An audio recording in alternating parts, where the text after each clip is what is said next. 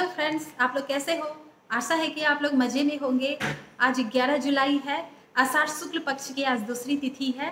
Monsoon में पकोड़े खाने का अलग ही मज़ा होता है। जब रिमझिम बारिश होती है, तब हम ऐसे में पकोड़े बनाते हैं। तो हम छोटे से उपाय करके पकोड़ों को स्वादिष्ट और मुलायम बना सकते हैं। जब हम पकोड़े बनाते हैं तो बेसन को फेंटते हैं। तो बेसन को पहले अच्छी तरह फेंट ले, उसमें फिर एक चम्मच तेल डाल दे, गरम तेल डाले। उसके बाद पकोड़े छाने तो इससे पकोड़े स्वादिष्ट और मुलायम बनेंगे। और दूसरा उपाय यह भी कर सकते हैं कि जब हम बेसन के पकौड़े बनाते हैं तो हमें बेसन फेंटना होता है तो इसमें समय और मेहनत दोनों ज़्यादा लगता है। तो हम पहले ऐसा कर सकते हैं कि पहले हम बेसन को थोड़ा फेंट लें, फिर उसमें बेकिंग पाउडर डाल दें एक चुटकी, उसके बाद तुरंत पकौड़े छाने। तो इससे पकौड़े मुलायम और फुले हुए बनेंगे और स्वादिष्ट भी बनेंगे।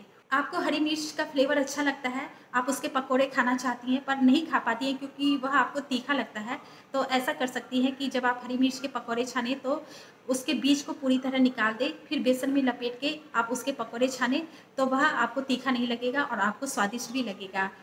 कभी कभी ऐसा होता है कि बेसन को हम बहुत देर तक फेंटते हैं, फिर भी वह हल्का नहीं होता है। बेसन को जब हम फेंटते हैं तो उसे चेक कर लेते हैं, एक गिलास में पानी लेते हैं और उसमें बेसन को डाल देते हैं। अगर वह ऊपर फ्लो करने लगता है तो इसका मतलब बेसन पूरी तरह फिटा चुका है।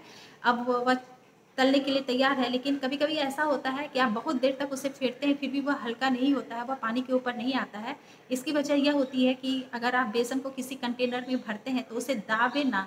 अगर आप दाब दाब के आप उसे भरती हैं तो वह बेसन को आप जब फेंटेंगी, बहुत देर फेंटती रहेंगी, फिर भी वह हल्का नहीं होगा।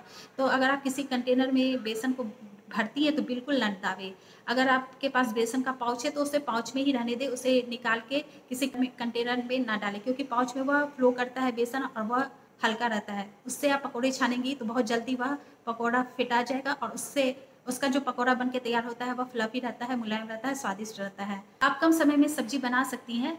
जब आप सब्ज़ी बनाती हैं तो तेल को गरम कर ले, उसमें जीरा और हींग डाल दे, जब वह तड़कने लगे तो उसमें प्याज डाल दे, प्याज को भुने, जब वह थोड़ा पारदर्शी हो जाए तो उसमें कुछ सख्त सब्ज़ी डाल दे, जैसे आलू, कद्दू, बैगन को डाल दे और उन्हें भुने तो इस तरह से प्याज और सब्ज़ी दोनों साथ साथ भूनता चला जाएगा। इसमें नमक, हल्दी भी डाल दे, सूखे मसाले डाल दे, उन्हें भी भून ले तो इस तरह से सब्ज़ी जल्दी बन तैयार हो जाएगी। अब हम जानते हैं एक रेसिपी चना टिक्की तो हम जानते हैं कि यह रेसिपी कैसे बनती है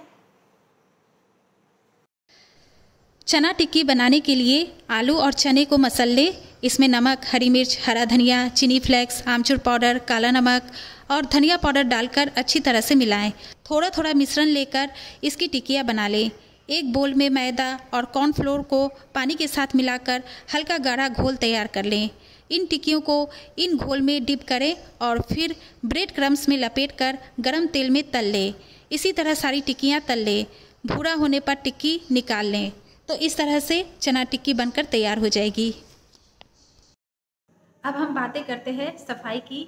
घर के फर्नीचर को हम थोड़ी सी देखभाल से उसे नया बना के रख सकते हैं। फर्नीचर की सफ़ाई के लिए हम बेकिंग सोडा का इस्तेमाल कर सकते हैं। बेकिंग सोडा में आप पानी डाल दें, उसका गाढ़ा घोल तैयार कर दें। उस घोल को चिकनाई वाले स्थान पे, चाहे जहाँ कहीं दाग लग गया हो, उस जगह लगा दें और कुछ देर के लिए छोड़ दें, फिर उसे साफ़ कपड़े से पोछ दें।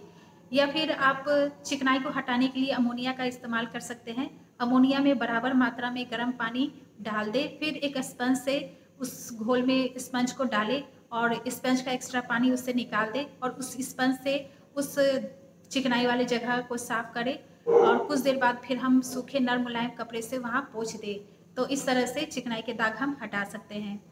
घर में ज़्यादातर फर्नीचर होते हैं ये वार्निश वुड के तो इसे हमें धूल गंदगी से दूर रखना चाहिए। इसकी देखभाल करने के लिए हम वैक्यूम क्लीनर का इस्तेमाल कर सकते हैं। और महीने में एक बार हम नींबू से फर्नीचर की सफ़ाई कर सकते हैं। इससे फर्नीचर में एक नई सी चमक आ जाती है। पुराने फर्नीचर को हम मिनरल ऑयल से पेंट करके इसे नया बना सकते हैं। अगर संभव हो तो फर्नीचर को हर साल वैक्स या वार्निश कराएँ। इससे फर्नीचर नमी नहीं सूखता है और इसकी लाइफ बढ़ जाती है इसकी चमक बढ़ जाती है। अब थोड़ी बातें देश दुनिया की कर लेते हैं। आज विश्व जनसंख्या दिवस है।